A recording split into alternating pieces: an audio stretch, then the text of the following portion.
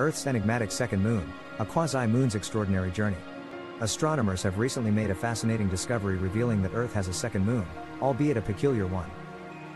This newfound companion, known as 2023 FW13, is not a traditional moon but rather a quasi moon, an asteroid that has been orbiting our planet since 100 BC. Its orbit is incredibly intricate, extending halfway towards both Mars and Venus. Unlike our primary moon, this second celestial object is not a permanent fixture.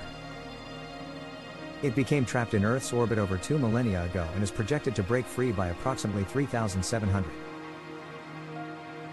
Despite its classification as a moon, it is worth noting that these asteroid measures a mere 65 feet in diameter, making it vastly smaller than our familiar moon.